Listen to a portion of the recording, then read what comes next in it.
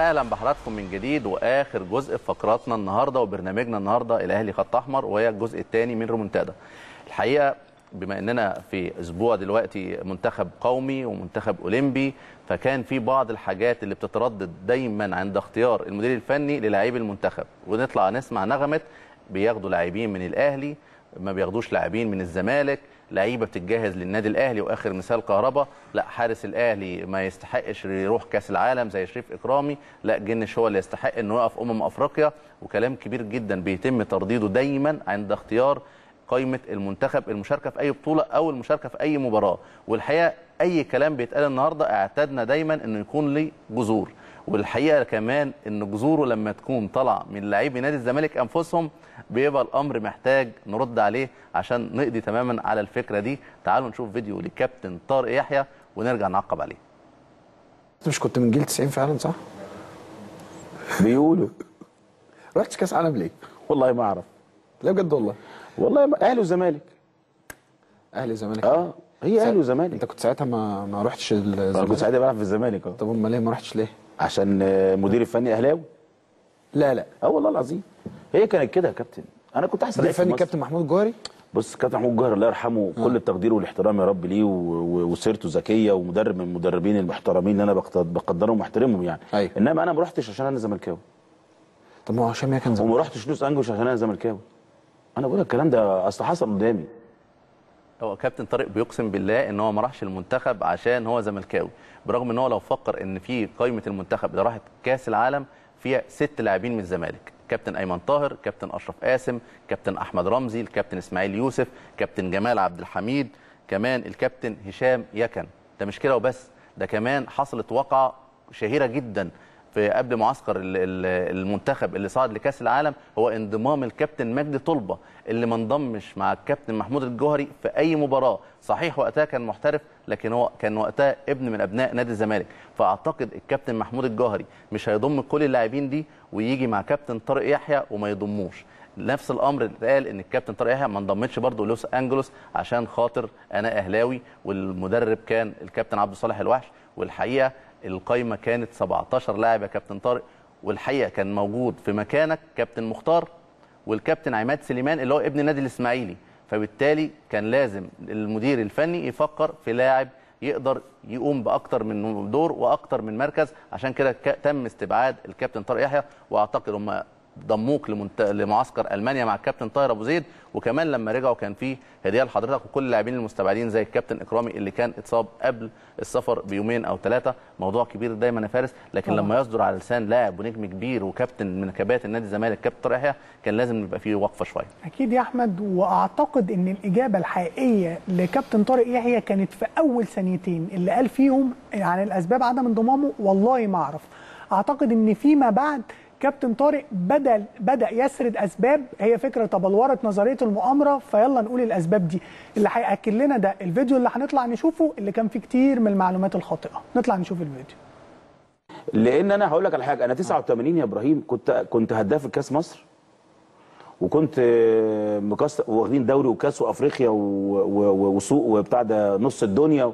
وأنا قاسم آه، آه، مشترك أعظم في كل هذه المباريات وكل هذه البطولات. فاهمني؟ ومع ذلك ما رحتش كأس العالم. أنا أول مرة أسمع الحكاية دي. آه والله العظيم. أسباب. فهي قصة أنا أنا ترجمتها كده. وهي ما تترجمش إلا كده لأن في لعيبة في لعيبة يعني مع تقديري واحترامي ليهم كانوا مصابين وخدهم وخدوهم بس كانوا ينتموا زي مين؟ لا مش هقول أسماء ما ناس.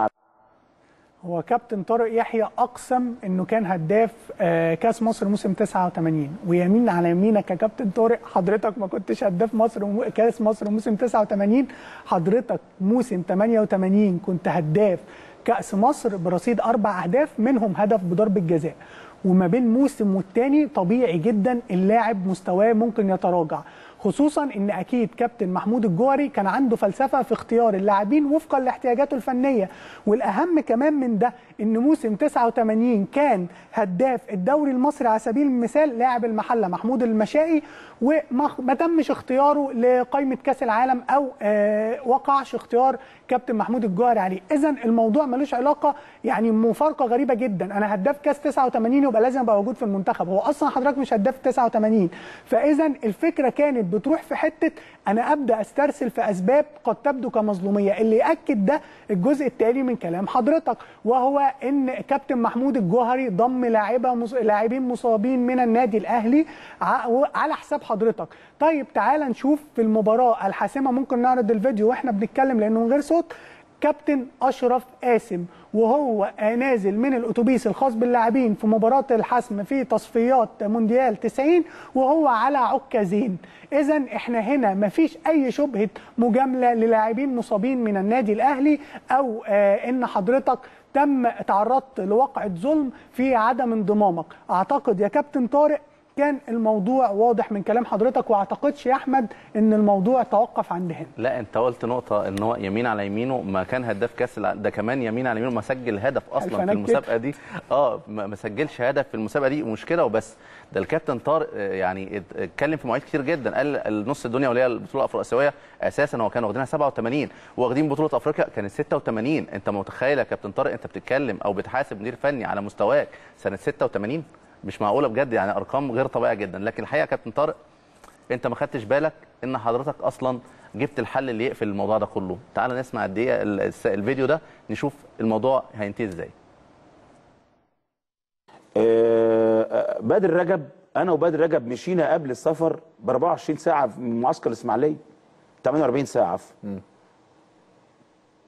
48 ساعة بالظبط. هو الكابتن محمود الجوهري كان عنده موضوع الأهلي والزمالك ده؟ هو كابتن بدر رجب ده كان بيلعب في الزمالك برضه؟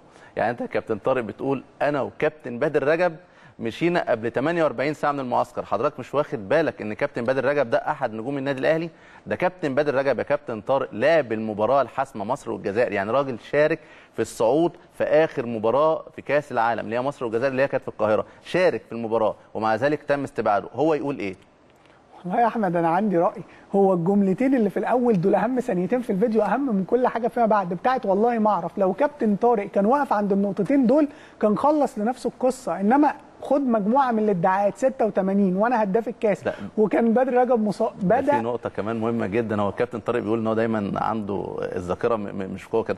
كده اتكلم عن أزمة بين كابتن محمود الجوهري وماتش اعتزال الكابتن طارق يحيى في 94 فقال لك أنا جبت الإسماعيلي وكنت جايب نجوم الإسماعيلي وطبعا كان من نجوم الإسماعيلي وقتها كابتن عماد سليمان وكابتن حسني عبد ربه. كابتن حسني عبد ربه وقتها كابتن طارق كان عنده 10 سنين. وعلى فكرة كابتن طارق يعني أعتقد إن استبعاد لاعب أو انضمام لاعب من حق حضرتك كنت تبدي حزنك على عدم تواجدك في بطولة زي دي وده شيء طبيعي جدا ونقدره جدا ولكن دون أسباب ليس لها أي محل من الإعراب. ولو عايزين بجد يا أحمد نتكلم في مين تضرر من آه، اللاعبين الدوليين والعدد الأكبر ما هو في ضريبة. آه فعلا النادي الأهلي كان بيروح منه عدد أكبر من اللاعبين وهذا ليس مجاملة للنادي الأهلي لأن ده دوره طول عمره مع المنتخبات الوطنية ولكن كان الثمن غالي وعمرنا ما عملنا منه مظلومية وعمرنا ما زايدنا بيه ومش بنعمل كده هنا ولكن إحنا عايزين نقول قد إيه النادي الأهلي بيعي تماما دوره الوطني. بطولة الدوري 84 النادي الأهلي خسرها في المباراة الأخيرة من الدوري بفارق نقطتين عن نادي الزمالك دوري 84 المباراة انتهت بالتعادل 2 2 مع نادي الزمالك. عايزين نقول إن كان في خمس لاعبين من النادي الأهلي تم استدعائهم للمنتخب عشان أولمبياد لوس أنجلوس. عايزين نقول مين الأسماء الخمسة؟ كابتن ربيع ياسين كابتن مجدي عبد الغني كابتن محمود الخطيب كابتن آه، مصطفى عبده كابتن طاهر أبو زيد. خمس لاعبين من النادي الأهلي بثقل. أنا آسف يعني اللاعب فيهم يشيل منتخب مش يشيل فرقة. عايزين على الجانب الآخر الزمالك أربع لاعبين كابتن عادل المأمور ولهم كل الاحترام. كابتن بدر رجب كابتن إبراهيم يوسف كابتن بدر حامد. كابتن بدر آه، حامد آه. وكابتن آه، محمد حلمي لاعب نادي الزمالك عايزين نتكلم الأربع لاعبين دول انتهت المباراة بالتعادل 2 2 وكان نادي الزمالك فيه لاعبين أقوياء جدا في التشكيل المباراة دي زي كابتن هشام يكن كابتن أشرف قاسم كابتن فاروق جعفر كابتن جمال عبد الحميد إيمانويل كوارشي وكابتن طارق يحيى نفسه اذا على الجانب الآخر نادي الزمالك بشكل أو بآخر استفاد من عدم انضمام نجوم عنده في الفريق وطبعا كل الاحترام لفريق النادي الأهلي اللي خاض المباراة ولكن انت اتحرمت من لاعبين بيصنفوا كميجا ستار لاعبين قدرهم محدش يقدر يتكلم عليه ولا يشكك فيه وكانت بطولة دوري دفع ضريبتها النادي الأهلي دون أي مزايدة وبنؤكد إن إحنا مش بنقول هنا إن النادي الأهلي هيفضل بيساند المنتخب ودوره الوطني يا أحمد لن يتخلى عنه ابدا دون أي مزايدة على أي طرف. ده دي 84 كمان كان ليه فيها أسباب تانية كمان لأن كان مباراة الدور الأول بين النادي الأهلي ونادي الزمالك الحكم المصري الكابتن سمير عثمان ألغى هدف صحيح جدا باعتراف الصحفي إسماعيل البارز وقتها إن الهدف صحيح تماما ومين اللي لغاه؟ الكابتن سمير عثمان اللي بعض الجماهير الزملكاوية كانت بتدعي إن الكابتن سمير عثمان بناء على مداخلة مع الكابتن مدحت شلبي بيجامل النادي الأهلي. هو لو عايز يجامل النادي الأهلي هيلغي هدف لو كان تم احتسابه كانت النتيجة هتطلع تعادل واحد واحد وقتها كان النادي الأهلي بالتعادل 2 2 في نهاية الموسم هيحقق بطولة الدوري لأن وقتها كانت بتحسم بالأهداف زي ما في بطولة 88 برضه كانت بتحسم بالأهداف وبرضه النادي الأهلي وقتها كان بيلعب على فرصتين إما الفوز وإما التعادل. لكن الحقيقة برضه بسبب مشاركات اللاعبين في مباراة أو في بطولة. هي البطولة العربية في الأردن وبطولة كانت ودية. كان ممكن جدا نستنى القرارات دي ونلعب المباراة بالدوليين. لكن زي ما حصل في مشوار أو في 84 لوس أنجلوس سافرت البعثة بعد مباراة الأهلي والزمالك بيوم ورفضوا تماما تأجيل المباراة أو تأجيل السفر ليوم ويشارك اللعيبه الدوليين حصل في 88 واتحرم النادي الأهلي من تسع لاعبين هم أحمد شوبير إبراهيم حسن حسام حسن علاء ميوب حمادة صدقي طاهر أبو زيد أيمن شوقي ربيع ياسين. في الوقت اللي اتحرم الزمالك من كابتن إسماعيل يوسف وكابتن هشام يكن وأيمن يونس وجمال عبد الحميد. الحقيقة طبعا برضو واضح إن الكفة مايلة جدا أو عدد لاعبين وتأثيرهم في النادي الأهلي أكبر بكتير. وكمان مش كده وبس ده الهدف أصلا اللي اتحسمت بيه مباراة الصعودي أو اللي إدى الفرصة إن الزمالك يحقق البطولة دي. كان هدف مشكوك في صحته تماما. واسالوا الكابتن حمادة عبد اللطيف نفسه أنت بالفعل الكرة دي فاول ولا حضرتك اتزحلقت وقفت على الكورة ولا إيه بالظبط؟ ونسيب الحكم برضه للمشاهد. يعني دي الكورة اللي جاء منها الهدف الثاني اللي أحرزه الكابتن نبيل محمود واللي قضى تماما على أمال النادي الأهلي في الدوري. وطبعا حابين نذكر إن في. في بداية الشوط الثاني الكابتن علاء عبد الصادق تم طرده لاحتكاكه بأحمد الشاذلي أعتقد وقتها مهاجم الزمالك اللي سجل هدف في المباراة دي. فدي اللقطة قدامكم وبنأكد إن اللقطة دي هي اللي جاء منها الهدف الثاني. وطبعا دي كانت آخر مباراة للكابتن إكرامي اللي, اللي, انهى مسيرته بال- بالمباراة دي للأسف. أدي الهدف جاء من كرة فاول تماما. أعتقد لو حد استفاد من فكرة مدربين ولاعبين وانضمام نجوم الأهلي ونجوم الزمالك فهو أعتقد نادي الزمالك لأن دول البطولتين الوحيدين. الدوري اللي حققوا نادي الزمالك في جيل الثمانينات وما أقواه ولكن قدر يحققهم في غياب اللعيبة الدوليين فقط لا غير والنادي الأهلي خسر البطولتين دولت وبطولة واحدة فقط لا غير مع نادي لصالح نادي المقاولين العرب. أعتقد حسمنا الأمر تماما يا فارس وأعتقد إن النادي الأهلي هو كمان اللي تضرر من اللي حكاه الكابتن طارق يحيى وضحنا بشكل كبير يا أحمد ولكن على مدار رحلتنا معاكم النهارده عرفنا بشكل واضح إن النادي الأهلي مهما مر بأزمات تاريخيا كان لازم يخرج منها وكان عنده القدرة إنه يخرج منها وإن شعبية النادي الأهلي بالحقائق على مدار التاريخ ابدا لم ينازعه فيها أحد وإن دور النادي الأهلي الوطني سيبقى الأهلي مؤمن بيه وبيساند أي منتخبات وطنية لأنه عارف دوره كويس جدا وهيبقى الأهلي خط أحمر لا يجف ابدا. نشوفكم في حلقة جديدة من الأهلي خط أحمر.